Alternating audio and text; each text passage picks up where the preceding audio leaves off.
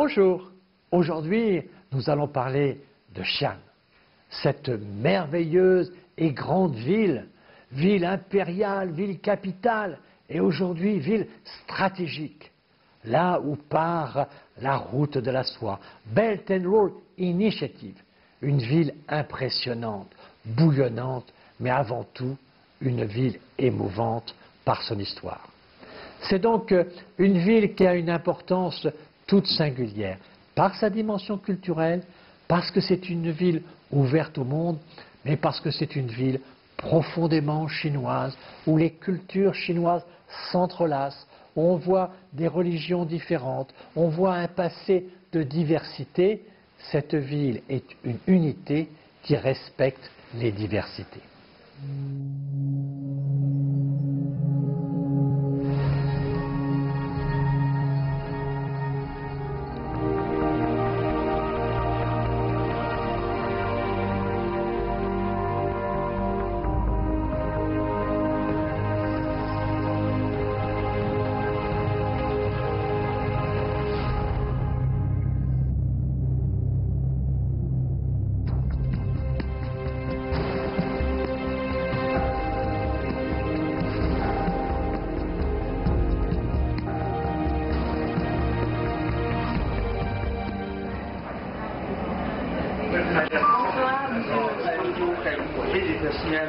Many times. Yes. It's always beautiful.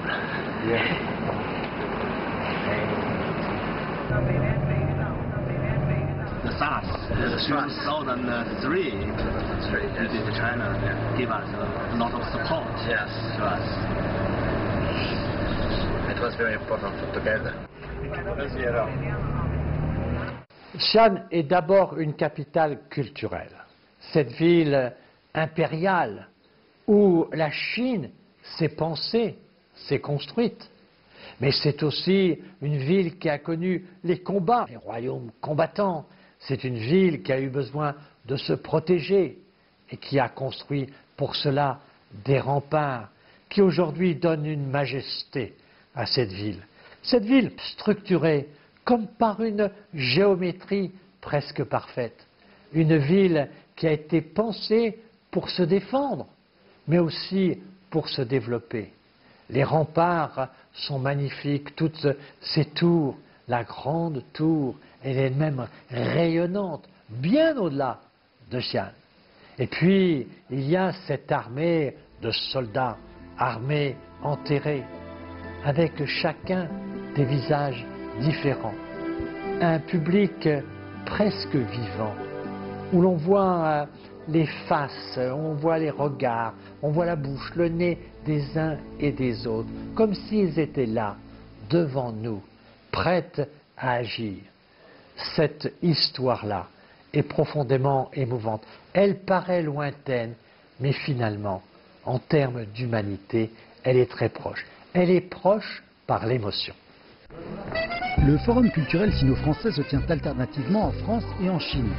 Il a pour objectif de créer une plateforme de dialogue de haut niveau portant sur des questionnements culturels entre les personnes du monde culturel français et chinois. Cette année, la troisième édition du Forum culturel sino-français a débuté à Xi'an. Les invités ont notamment échangé autour du thème Ceinture et route, apprentissage réciproque et innovation. Le forum a été inauguré avec la cérémonie d'entrée dans la ville. Avec comme témoins les anciens remparts de la ville, les invités sont accueillis avec de la musique et des danses traditionnelles qui font l'éloge des amitiés entre les cultures différentes traversées par la route de la soie.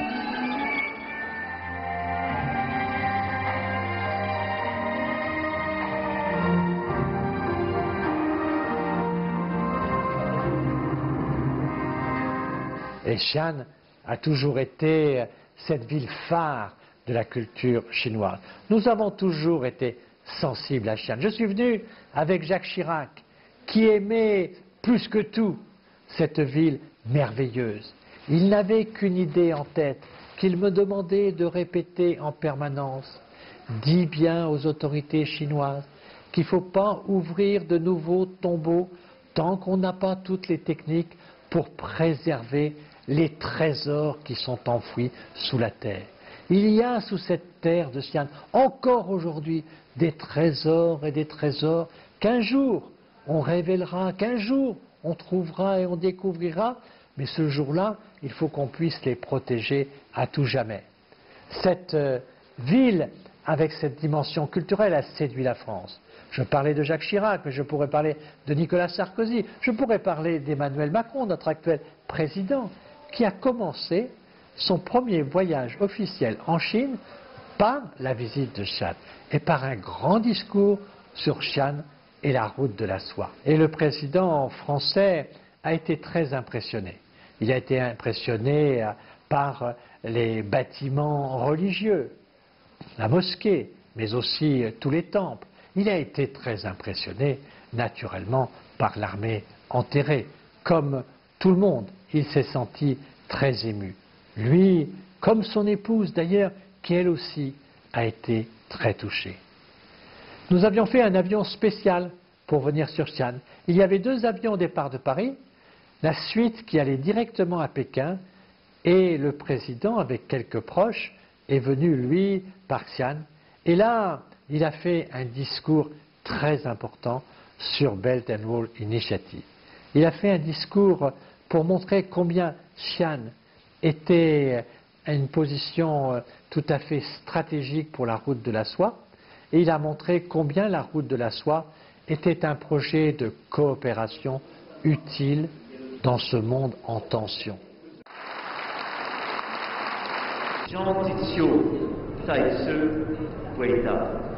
Le président Macron, après sa visite de Xi'an, a repris l'avion, j'étais avec lui, j'avais cet honneur-là, et il a été accueilli à Pékin ensuite pour le dîner avec le président Xi Jinping. Il y avait euh, plusieurs entretiens qui étaient prévus. J'ai trouvé que les deux présidents, euh, côte à côte, parlaient de manière libre, de manière spontanée, et je vois aussi que les épouses étaient très intéressées par les discussions. J'avais l'honneur d'être à cette table d'honneur il y avait une très bonne ambiance. Au fond, euh, comme si euh, les deux personnalités, les deux présidents étaient déjà amis depuis longtemps. Chacun, naturellement, défend ses idées, chacun, naturellement, défend ses projets, mais ensemble, on veut défendre l'équilibre du monde. Et là, je crois que Emmanuel Macron et Xi Jinping ont ensemble bâti une vision qui est une vision multilatérale du monde et pas unilatérale. Et je pense que beaucoup de sujets sont venus illustrer cette entente. Je pense par exemple à l'accord de Paris avec la COP 21 et à la défense de l'environnement. Cet accord-là, c'est vraiment un accord stratégique entre la France et la Chine, comme les deux présidents l'ont souhaité. Aujourd'hui, partout dans le monde, il y a des tensions, il y a des rivalités, il y a des compétitions. On parle même de guerre commerciale. Ce qui est la position d'Emmanuel Macron, c'est une position de coopération, et notamment de coopération internationale, et la route de la soie s'inscrit dans cette perspective. C'est pour ça qu'il a déclaré à Xi'an que la route de la soie, c'était un projet qui intéressait la France et pour lequel la France s'engagerait. Elle s'engagerait pour ses projets, pour ses intérêts, pour ses entreprises, naturellement. Chacun défend ce qu'il a à défendre. Mais ensemble, il s'agit de construire avec un grand projet. Et c'est de Xi'an que part ce grand projet. Il part, mais il revient, puisque entre l'Asie et l'Europe, la route de la soie, c'est un va et vient, c'est un échange.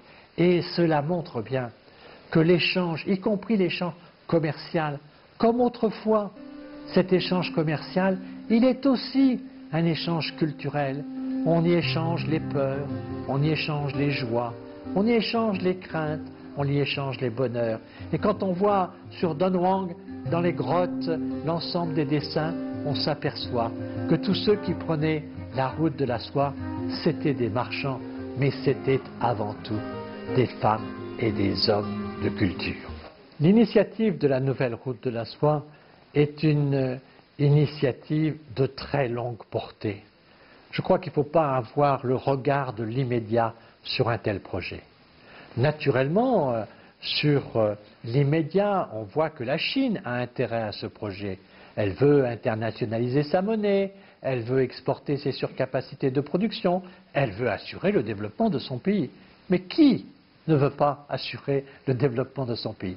Donc la Chine a forcément un certain nombre d'intérêts.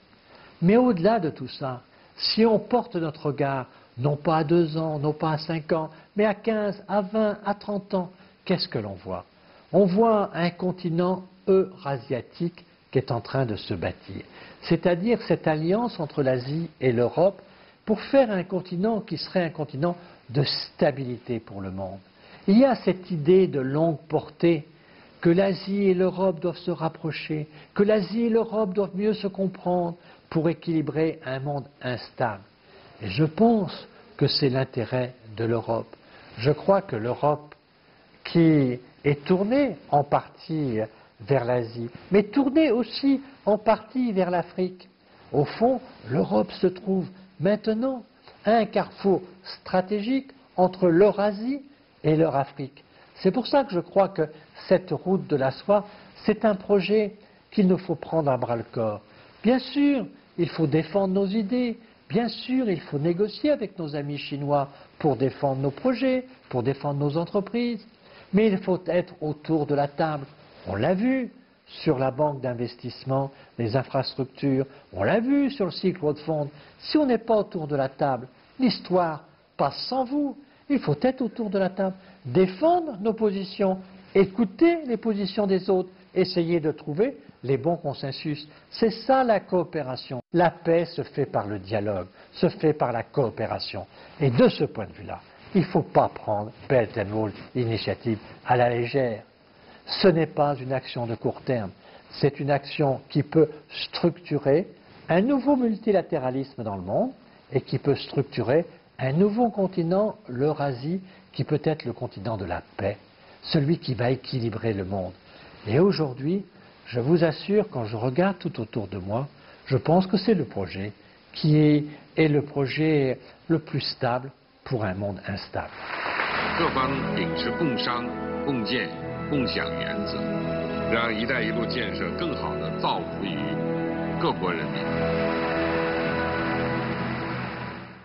Le président Xi Jinping a lancé ce projet avec une vision qui est une vision d'ouverture pour la Chine, d'ouverture aussi de l'ensemble du continent asiatique.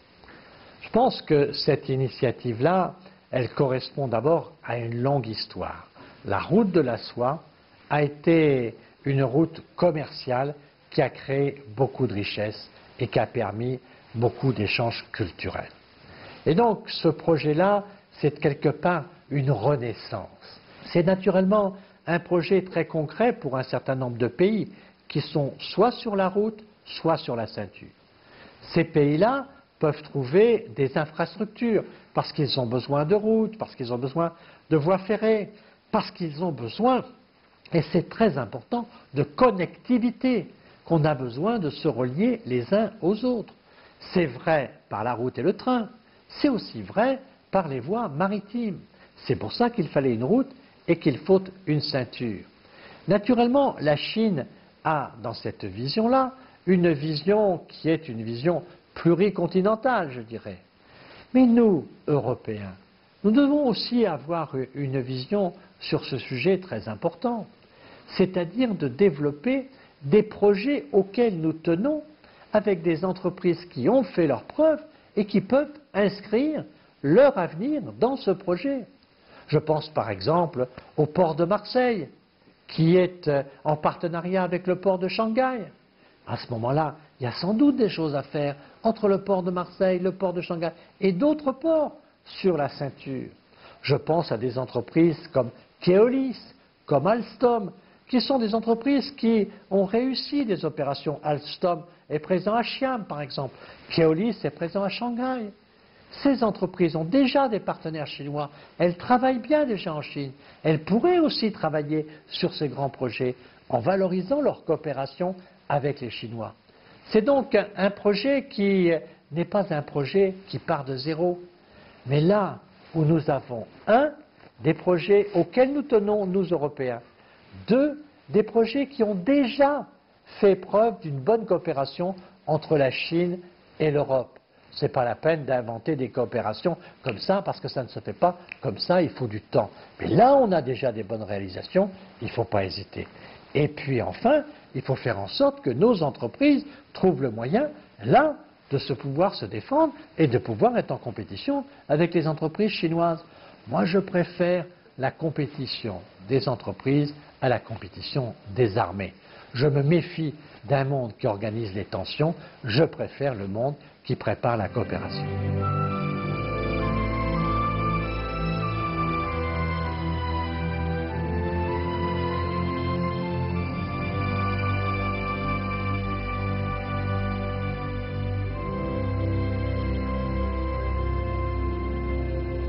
J'ai été très impressionné par ce forum sur Belt and Roll Initiative. C'était à Pékin, le président Xi Jinping avait invité un grand nombre de chefs d'État et j'avais l'extrême honneur de représenter le chef d'État français Emmanuel Macron. Il y avait euh, là, naturellement, les plus grands dirigeants de notre euh, monde aujourd'hui, de notre planète. Il y avait euh, naturellement des gens qui étaient enthousiastes, et puis il y en avait des gens qui étaient un peu plus réservés. Mais le dialogue s'est montré toujours très positif. Et je me souviens qu'à ce moment-là, beaucoup de gens disaient Oh, par exemple, M. Poutine fera peut-être des réserves. Et M. Poutine a montré qu'il était très motivé sur ce projet. Et donc, euh, on a senti qu'il y avait une mécanique qui était en place, une coopération qui était installée et qui allait se développer. Je pense que les, les nouvelles perspectives, les nouveaux enjeux, c'est de faire en sorte que tout le monde soit vraiment gagnant-gagnant dans cette affaire. Et pour cela, je pense que l'équilibre des échanges, l'harmonie de notre commerce international est une bonne chose. Je pense aussi que la dimension culturelle est très importante. Au fond, la dimension culturelle, c'est la dimension du long terme. Et je crois que dans notre monde qui est troublé sur la place des religions dans un certain nombre de pays, sur euh, les questions euh, difficiles de tensions et de frontières dans un autre, autre pays, il est important que l'on puisse discuter les uns et les autres autour de la table et valoriser le multilatéralisme. Très franchement, je crois qu'il nous faut travailler à une réforme du multilatéralisme. Le multilatéralisme a été inventé par l'Occident, dans l'intérêt de l'Occident, à un moment où l'Afrique n'avait pas la place qu'elle a aujourd'hui, à un moment où l'Asie n'avait pas la place qu'elle a aujourd'hui, ni la Chine, mais l'Inde non plus. Et donc, euh, il est clair qu'il y a des choses à modifier. Et je crois que cette réforme du monde, il faut l'engager, et l'engager par des discussions, l'engager par un vrai dialogue. Et c'est pour ça que je pense que derrière ce projet de Belt and Road Initiative, il y a la perspective d'un dialogue international refondé, d'un dialogue apaisé, dont l'objectif numéro un, c'est la paix. Je crois qu'il n'y a pas de développement sans la paix. Et c'est cet objectif-là que le peuple chinois peut porter. Les Chinois, dans leur histoire, ne sont jamais allés faire la guerre chez les autres. Les Chinois se sont défendus, mais ils n'ont pas été impérialistes pour aller faire la guerre chez les autres. Et donc ils sont porteurs de ce message de paix, d'abord parce que les Chinois veulent continuer leur développement et que pour se développer, ils ont besoin de stabilité. Ce sont des partenaires pour la stabilité et ce sont des partenaires pour la paix. C'est pour ça que je crois vraiment que les enjeux prochains de nos discussions sur Belt and Road Initiative, c'est d'abord l'équilibre des échanges, ensuite la recherche de la paix et enfin un dialogue pour obtenir cette paix, un dialogue moderne, rénové et qui permettra aux uns et aux autres d'agir ensemble.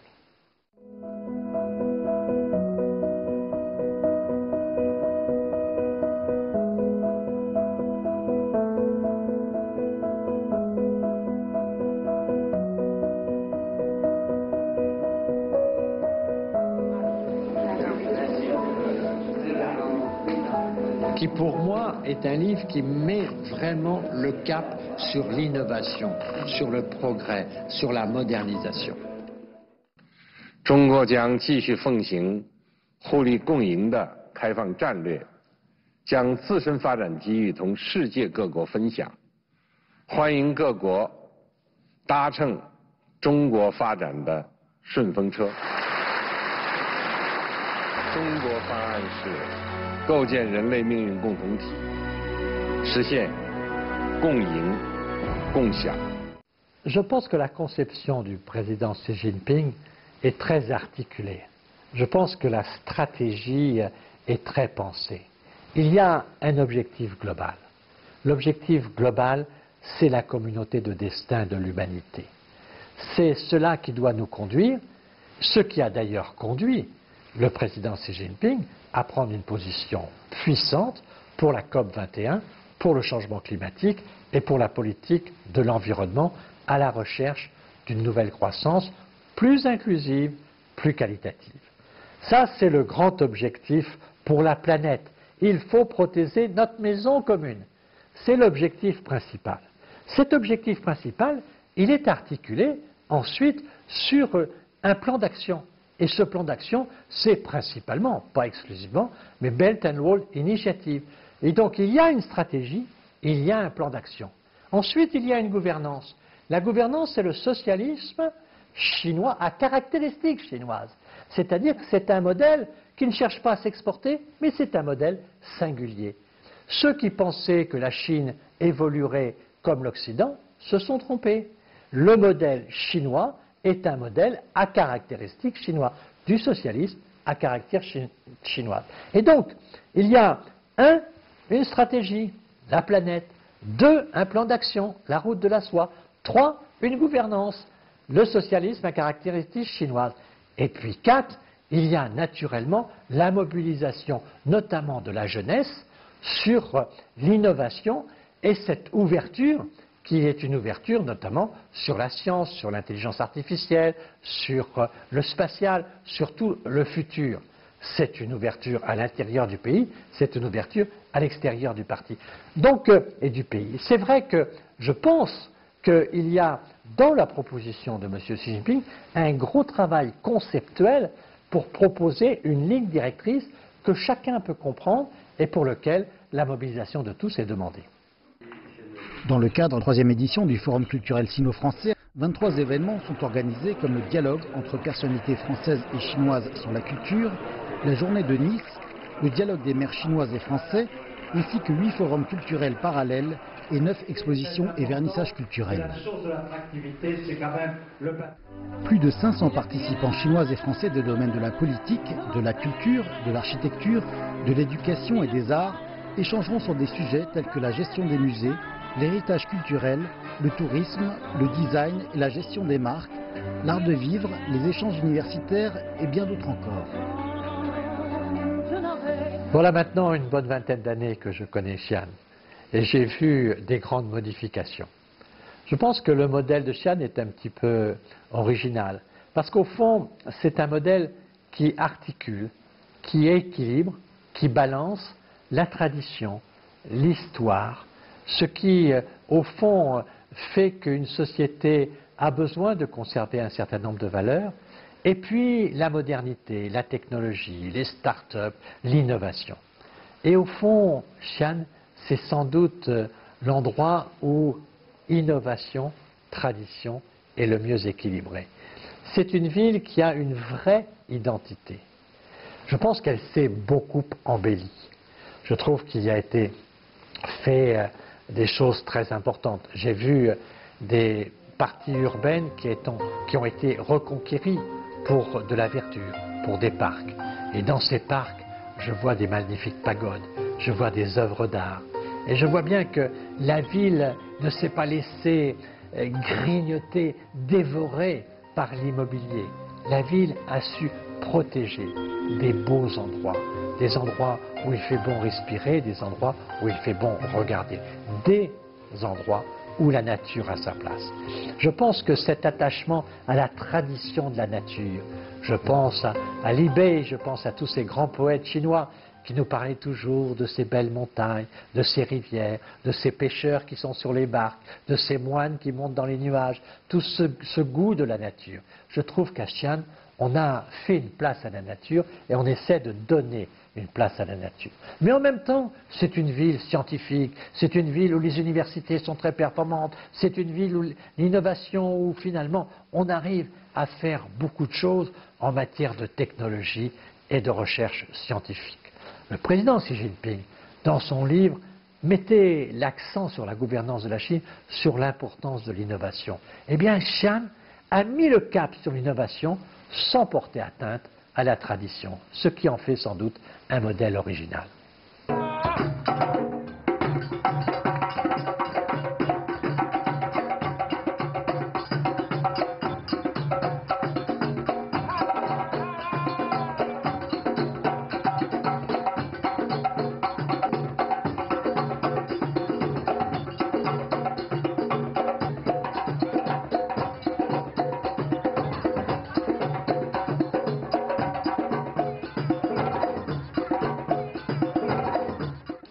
Renforcer les échanges culturels, c'est d'abord être très lucide sur la relation entre la Chine et la France. Notre relation est d'abord culturelle. C'est une question de sensibilité, c'est une question d'émotion. Je dirais que c'est une question d'affectivité. Les Chinois sont très affectifs, comme les Français. Ils ont un grand cœur. Naturellement, l'amitié des Chinois, elle ne se conquiert pas comme ça tout de suite. Il faut du temps. Mais aussi pour les Français, il faut aussi du temps. Et c'est comme ça qu'on construit des longues amitiés. Cette curiosité culturelle, qui est une curiosité réciproque, en France, on a toujours beaucoup de curiosité pour la civilisation chinoise, pour Confucius, pour cette belle poésie des montagnes, des forêts, de l'eau, des nuages, cette nature créatrice, c'est au fond une curiosité qui, qui nous a toujours tentés. C'est vrai de l'opéra chinois, c'est vrai de l'architecture, c'est vrai de beaucoup de sujets où il y a, de la côté français, beaucoup d'attractivité. Mais cette attractivité est réciproque. On a vu, naturellement, après qu'un certain nombre de grands personnalités chinoises sont venues faire des études en France. C'était le cas de Tian Xiaoping, c'était le cas de Zhou Enlai et de beaucoup d'autres. Il y a aussi une curiosité, une curiosité pour nos écrivains, pour Victor Hugo, pour Zola, pour beaucoup d'autres. Cette curiosité, elle est aussi euh, pour euh, la culture traditionnelle, ce que nous avons hérité de la culture gréco-latine. Et puis, il y a aussi euh, de la culture moderne, de la musique, où on sent que les jeunes Chinois et les jeunes Français aiment aussi des musiques voisines. Et puis, par exemple, même dans le sport, on voit que nous partageons le football maintenant.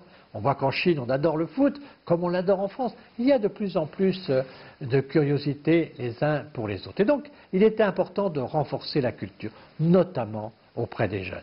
C'est pour ça que j'approuve tout à fait euh, la décision qui a été prise de renforcer les échanges d'étudiants pour accueillir de plus en plus d'étudiants chinois en France et de plus en plus d'étudiants français en Chine c'est cette connaissance-là de la culture de l'autre, de la civilisation de l'autre. On a la chance d'avoir de très très vieilles civilisations, mais qui veut respecter l'autre doit chercher à le connaître, et pour cela, il faut développer les échanges culturels.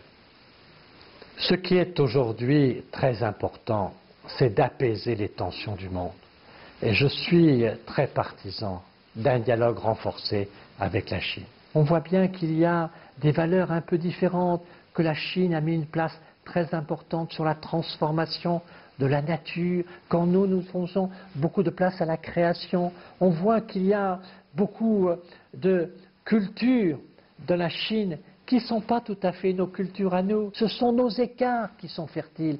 C'est parce qu'on a une diversité qu'on peut se rassembler pour ensemble protéger l'humanité et notre planète.